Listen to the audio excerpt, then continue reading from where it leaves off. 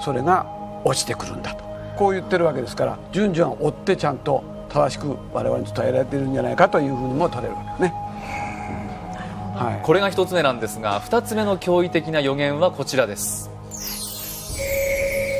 青い星のようなものが見える時私たちの民の儀式は直ちに終わりを告げるのだ、うん、まあ、何か意味深ですけれどもこれが。そうですね、えー、ちょっと今までよりはちょっと意味深ですね、えー、はい、青い星。まずここから推理した方がいいんでしょうかね。そうですね、えー、何でしょう、うん、太陽が活動をやめるってことじゃないですか、ね、なるほど。真っ赤な太陽が活動をやめて青い星になってしまう、はい。うん、そういうのも習ったでしょ？う太陽に寿命があるとか。はそうですね。でもだいぶ長いですね。あと何十億年も。そうなんだよね。偉いねちゃんと勉強してすごい。一番なんかポエムチックですよね。ようなものがとか、うん、で儀式が私たちの民の儀式が終わりを告げるからのだ、えー、すごくこう、ね、つかず離れずのような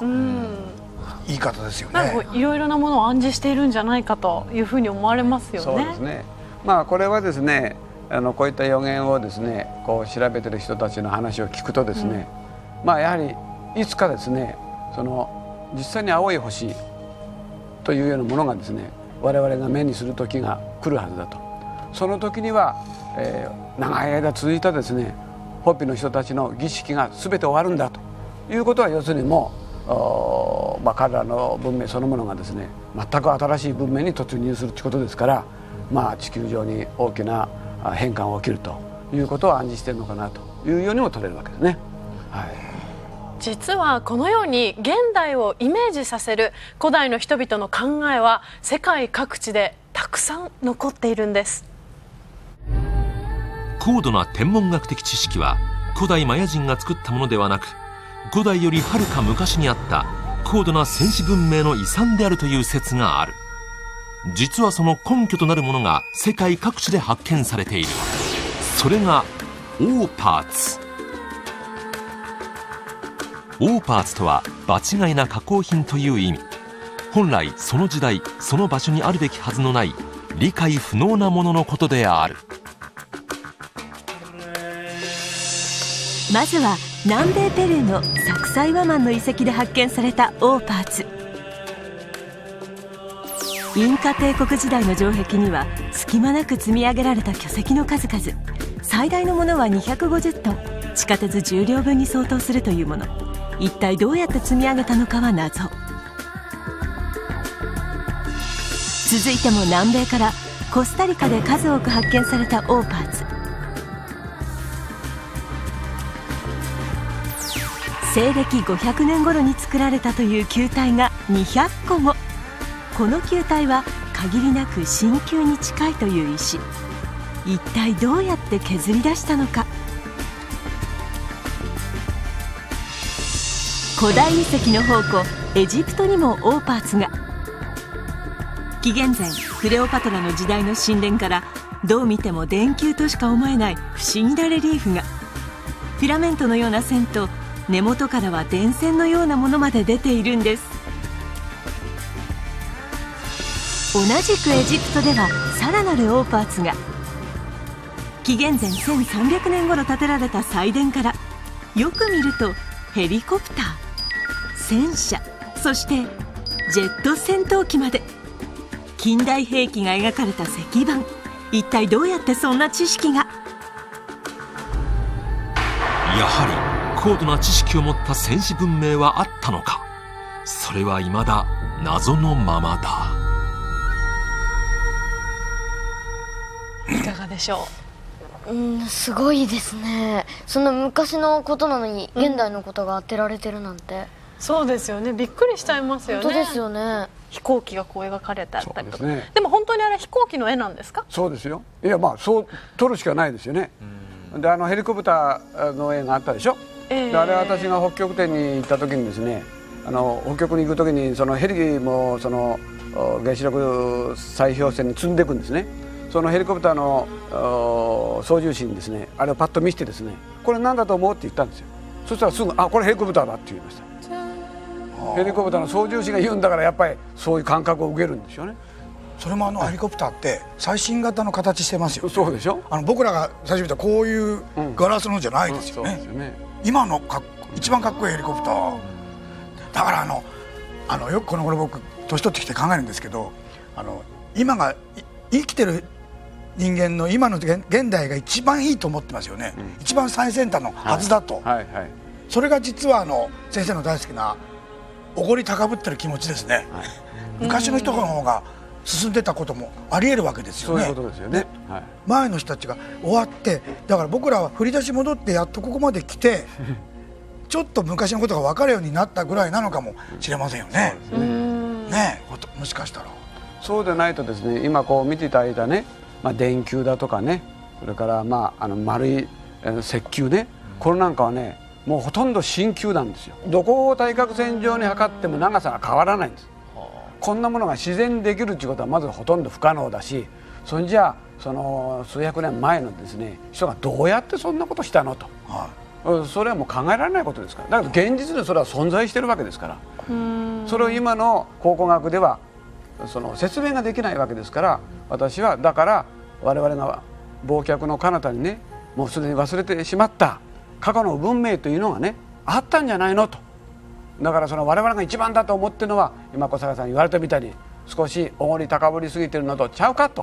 ね、こういうことにまあなるということじゃないでしょうかね。はい。先生でもどうしてこうオーパーツというものが世界中に存在するんでしょうか、だから要するにあの先進文明我々のお文明よりももっと前にね栄えた文明が世界的に展開していたと。だからエジプトにもあるし、ガテマラにもあるしペルーにもあるしとそういうことじゃないかと思いますね、はい、ただそれをそんなものはなかったんだと今のお学者の先生たちは言ってますけどもそうだとするとじゃあこれはどうして説明できるんですかというとちょっとごめんなさいと。いうことになってしまう。と いうことじゃないでしょうかね。い。どっかで浦島太郎のあの亀の後ろのひげみたいにあれがジェット推進機じゃないかっていう人もいますよね。ええええ？竜宮城自体も海底にちゃんと何かあったんじゃないかとか、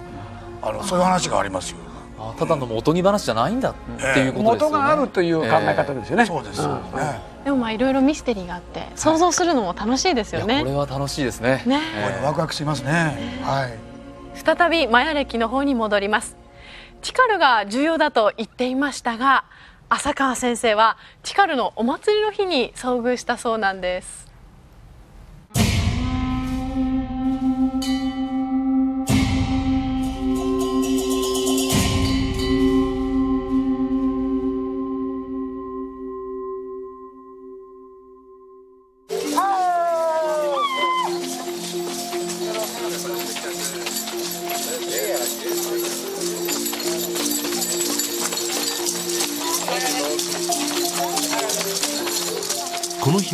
ル遺跡でマヤの人々によるセレモニーが行われていた。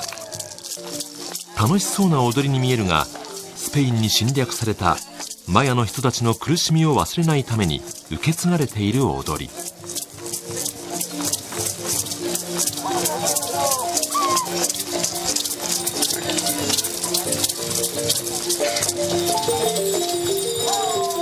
熱帯特有のじっとりとしたジャングルの暑さの中踊ったりマリンバを叩きながらジャガー神殿まで1時間以上歩いていく。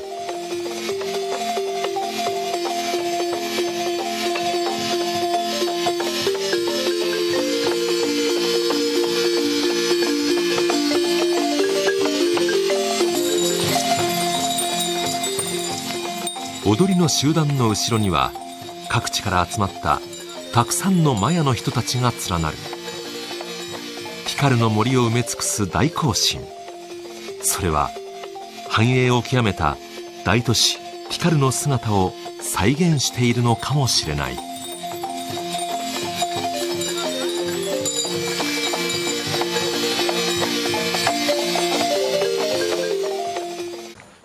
前の人たちがたくさんの数でしたね。もう数百人でしょう。まだこれからも続々と来られるようですけども。これからまああの調子で歩いていくと1時間はかかると思いますよ、うん、だけどもう3日ぐらいかかってこの地にたどり着いてる人たちがいるようですからね。そういう意味じゃ1時間なんて 全然もののけの中に入らないんでしょうけども。ようやくジャガー神殿に到着。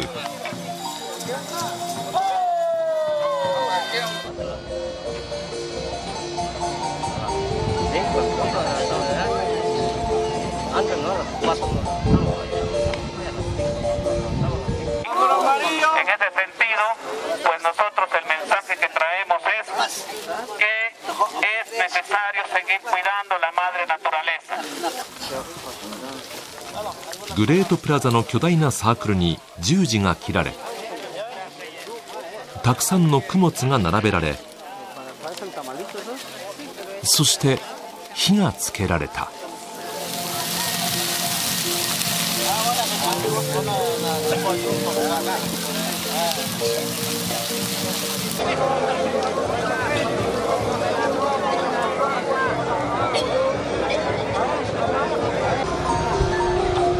東西南北の神々に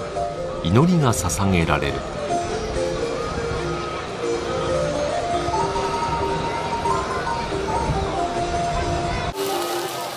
セレモニーにマヤ民族以外の人間としてただ一人参列を許された先生も祈る。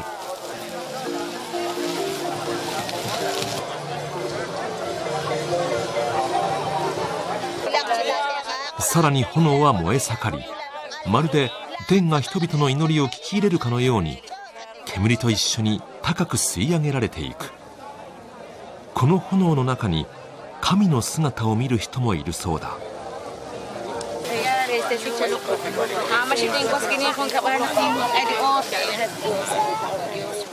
シャーマンによる祈祷マヤの人たちのためそして人類のために祈りが捧げられる。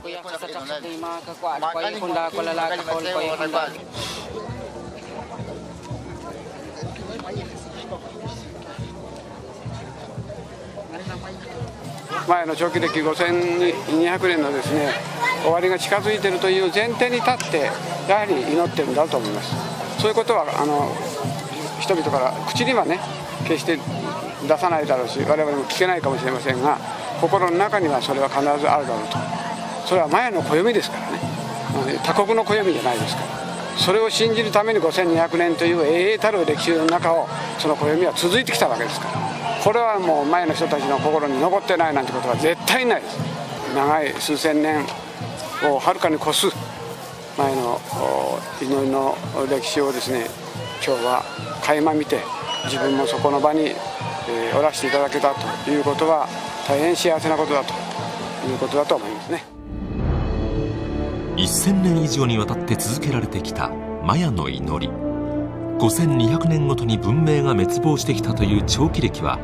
本当に2012年12月21日に終わりを迎えるのか。その時一体何が起こるのか。日本初対談マヤ長老のトップアレハンドロ・シリロ・ペレス・オクスラに浅川先生が直接真相を聞いた。そこで何が語られるのか。人々がお祈りする姿ってすごく美しいなと思ったんですがどうでした？本当ですね。ね。美しいですよね。ね、はい、たくさん人がいてああいうふうに、うん、泣いてる方もいましたもんね、はい、でもなんか火を焚くっていうことがなんか日本のあのねあのごまを炊くみたいななんか似てる感じがしましたね、全く同じ考え方ですね、えー、はい、そこに神を見るっていうのも日本だとそこに竜,、竜神様が見えたとか、よく言う方いますもんね、はい、塚尾先生は実際あの現地に行かれてみて、いかがでしたか？そうですね。あの今も VTR の中で言ってましたけどね。あのこの祭りはですね年に1回行われる祭りでねまあ原住民の方にとってはですね非常にその神聖なですね、うん、大変な祭りなんですね。ですからそこへですね原住民以外の人が入って祈りを一緒にやるなんてことはもう稀中の稀なんですね。ですから私もまさかそんなところへですね参加させてもらえるなんては夢にも思わなかったんですがあまあたまたまドン・アレハンドの方がですねいろいろとご手配していただいてですねお前は参加していいということになったんでですねまあ本当に自分でも幸いだなと思って参加させてもらったわけですけども、はい、ただし1箇所だけですね絶対撮影が禁止されたところがあったんですよ、はい、どこだかわかりますか、うん、どこだろう。実はですねあの点火する時。この時だけは絶対にカメラを回さないでくれって言われた。でこれはですね私も最初意味が分からなかったんですがやはり点火することによって神が上から降りてくる瞬間だ。だからその時はものすごい神聖な瞬間だからカメラはその時はダメだよって言われた。ああ、はい、いらっしゃる時だから、はい、神様が、はい、でもそれ以外は全部撮影 OK になったんでね。カメラマンの方たちだって最初全然準備してないから大騒ぎでしたよ。大統領に会ってですねその撮影をするよりもあのー、そのセレモニーをですね撮影することの方がずっと難しいんだっていうことをドン・ハレランドロが後で言ってましたからね、はい。まあ、大変貴重なあの映像だったんじゃないかなというように思いますね。はい、はい、どれぐらい、まあ、かなり歩いて来られる遠いところから来るという方もいたそうですけどそうですからどれぐらいの規模ですか？だから遠くはですね、えー、まあ本当に3時間ぐらいあ3日間ぐらいはですね3日、えー、で結局なんか車かなんかって言うんだけどやっぱりみんなあの先住民の人ですから基本的にはお金がないわけですよ、うん、で我々すぐ車でって言いますけどもそれはお金があるという前提のものを言ってるわけですね、うん、ですからもう3日でも4日でも歩くというのがもう基本的な考えですから、うん、そしてようやく到着してですねあの木器を叩いてるとかあったでしょ、であれを持ってる人たちはあれを1時間持ち続けるわけです。そして叩く人は1時間叩き続けるわけですよでさっきあの小笠原さんがですねあれあの持たなくてあのこう 車で押したらって言うけどもね車で押すとですね凸凹道ですから木琴叩けなくなるんですね。したがって両サイドで持ってですねあれを1時間やるんですからと踊り続ける人たちだってあれ1時間踊るんですよ。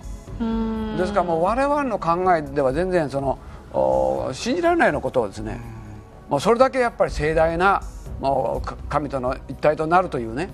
非常に貴重なお祭りだということがそれを見ても分かるような気がしますね。なんか、はい、頭が下がりますね。だから3日間歩くことその歩き出すことからもきっと皆さんがセレモニーに参加してるでしょうね。そうですね。えー、その通りだと思いますね。はい、はい、この後は番組最大のポイント浅川先生がマヤ長老トップに直撃してマヤ歴の真実を引き出しますついに浅川先生がドン・アレハンドルと日本初対談。マヤ長老のトップは2012年問題について驚くべき事実を語ってくれた。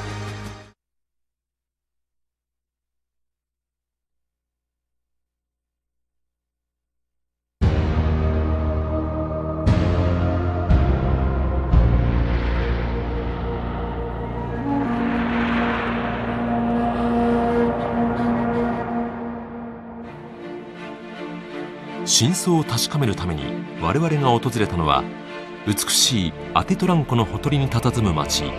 パナハッチェ。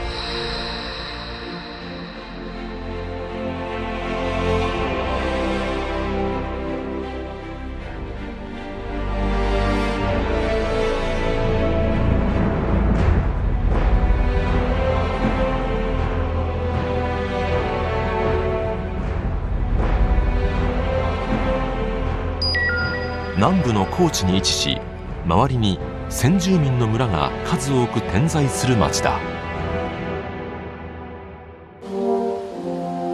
長期歴の終わりには一体何が？ついにマヤ長老のトップアレハンドロが姿を現した。彼は何を語ってくれるのか？以前先生はアレハンドロを日本へ招いたこともあり久しぶりの再会を喜び合う2人、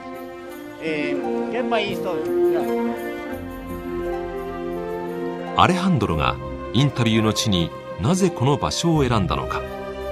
それはこの美しいアティトラン湖がマヤにとって非常に重要な湖だからなのだ。まずこの湖の重要性を聞いてみた。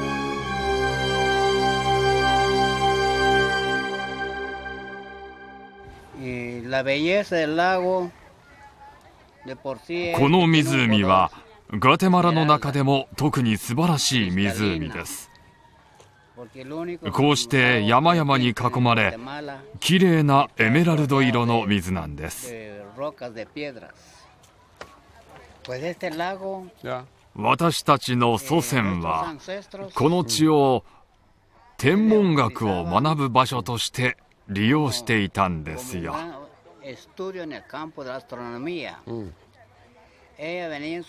湖面に映る天体の動きを観察しますこうすることによってマヤの天文学の発展に貢献したのですなるほどねあのー星を見るのに直接上を見るんじゃなくて湖に映った星を見るってことは何か別の意味があるんですか単純な理由だと思います天体を見るということは楽な姿勢ではありません昔は今よりも透明度が高かったでしょうから湖を鏡のように利用しそこに映るものを見る方が近くに天体を感じることができたのでしょう。マヤの人たちが天文学を学んだというアティトランコ。この場所に先生を招待しアレハンドロは一体何を語ろうというのだろうか。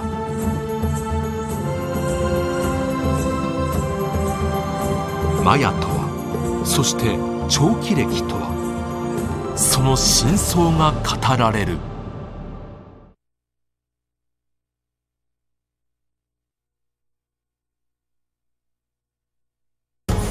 Oh. Oh.